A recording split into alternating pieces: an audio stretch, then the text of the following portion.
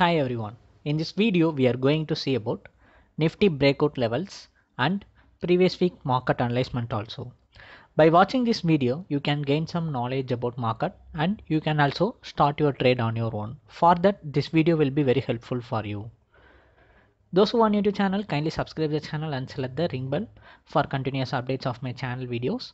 If you feel like the video, kindly select the like button and share it. The channel name is NSE Commodity Trader. By selecting the name of this channel, you will go to homepage. In homepage, you can see more strategy videos, indicator videos. By watching this video, you can gain more knowledge about market. We are also taking more advanced trading strategy class. If you want to know about it, you can WhatsApp or contact the number which is given below the video. If you want to open a Demat or trading account, kindly select the link in below description. The account opening process will follow. Nifty let's start from the nifty what happened in the previous week. On friday what happened? If you take a look at on friday means it's a little bit volatile day. Uh, in the entire week that uh, friday only moved market very well we can say. Because from the market opening itself it rallied very well. Uh, just before the friday market uh, wasn't positive because of the news that came from the S&P Standard and Poor's global rating. The Standard and Poor global rating gave us a triple B negative this week. So India looks like a recover after within uh, two three years it will recover so that uh, India maybe uh, the GDP rate will get increased like that. Uh, Standard and Poor rating agencies was said. After that uh, on Friday market opened as a positive news and market rallied very well. And market in that rally it came up up to 12250 also. But during that time yeah, news came. After that news came market started to falling. During that fall it came down up to 12091 range. It is almost near to the 12100 range. So on friday market ended up as a bearish candle. Let's take a look at the weekly candle also what happened so that we can see what happened in the week. But i uh, this is very lowest week. Due to previous two weeks a very large very volatile very huge movement week. This week is very very low volatile very low movement. Except friday all the four days market rallied very very slowly. It's not good for intraday traders but for positional traders it was good. Okay that was enough for the uh, uh, traders. And uh, in weekly candle it looked like a doji. It formed as a upper resistance of 12250 and in the lower side 12000 so it will be like the 12000 is going to be the major supportive level for the coming week also. Let's come back to the day candle uh, meanwhile let's take a look at what happened in the stocks also. In stocks on friday SpiceJet announced a superb result. Its profit rate and revenue everything has grown very well. Due to that market share rallied after within the quarter 3 has been announcement. The 10% rally has been seen. Due to that it's very very positive news for SpiceJet. uh, since it's a aviation uh, it's getting a competition from the indigo after the exit of jet airways the spicejet rallied very well in this quarterly results also. And then next major news that pulled down the market is vodafone idea.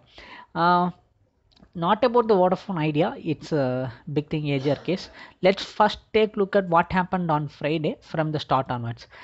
Just before the Friday on Thursday evening Vodafone Idea announced the Q3 result. Due to the Q3 result has been announced, Vodafone Idea, this is the uh, opening. After it opened, it rallied up to the upside. During that, it was an uh, around 15% uh, positive, but the day ended up as a 15% negative because of your news. Uh, the quarter after Q3 announcement, the idea was uh, not announced the biggest loss uh, according to the expectations. Due to that, it was a positive news for the Vodafone idea. So it rallied to the upside and it maintained the uptrend.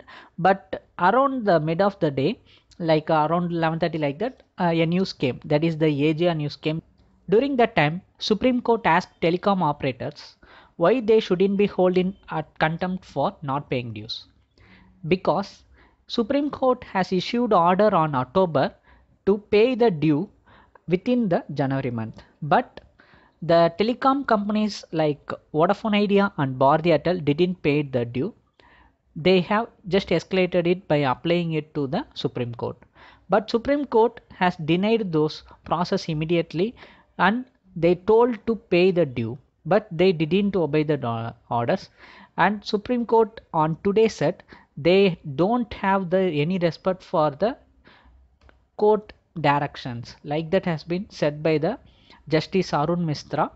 And he asked uh, judge also asked the apex court summoned the managing director and director of telecom operator on march 17 next date of hearing and direct them to clear all dues by them so currently vodafone idea and Bharti Airtel need to pay their due on March 17 that was strictly given the order by the Supreme Court.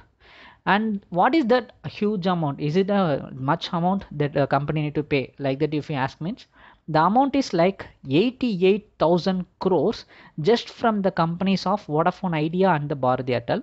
The total amount pending is 90,000 crores. In that 80, 88,000 crore is just from Vodafone Idea and the Bharti Airtel. So if the company has need to pay that much amount means the company will go bankrupt also. That much is a huge disappointment for the vodafone idea because currently vodafone idea is uh, suffering so much uh, just from their subscriber also very rate also very low. Already they are on very low uh, processing low on the revenue also their, their quarter 3 also very worst one.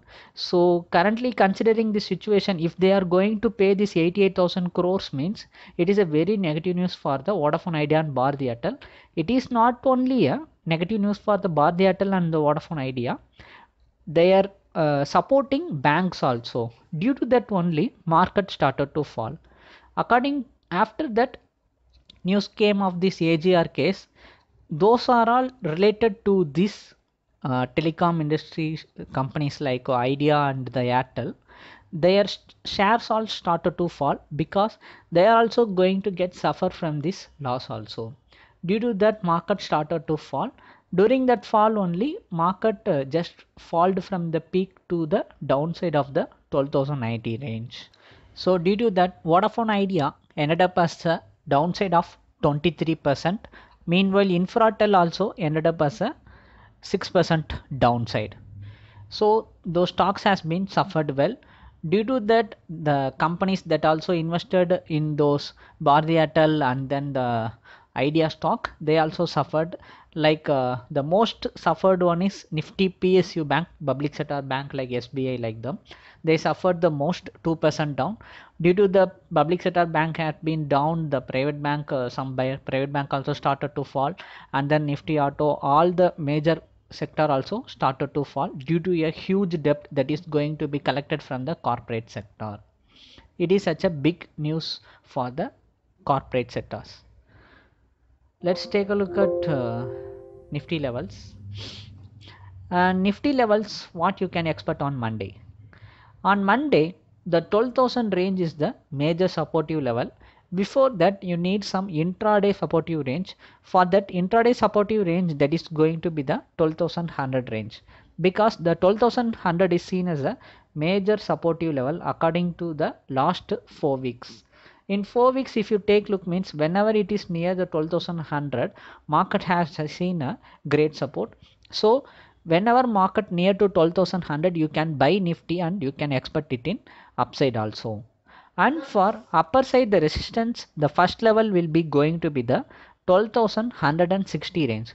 Because during this 12160 range market is facing a strong resistance. According to the last 2 to 3 weeks whenever market came near to 12160 market started to rotating or falling like that has been happened very occasionally in previous weeks. So if market break up above this 12160 you can buy nifty again and you can expect it up to the 12230 range. Because 12230 is the next level of resistance for the coming week. Meanwhile of the support if 12100 got breakout you can expect the market downside up to the 12000 range.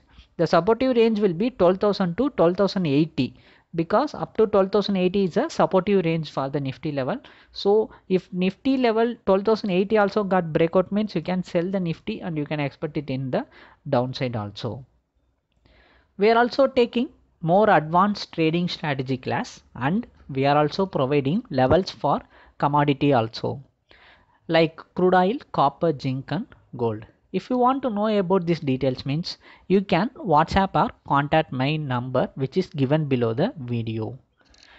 If you want to open a demat or trading account kindly select the link in below description or contact the number which is given below the video.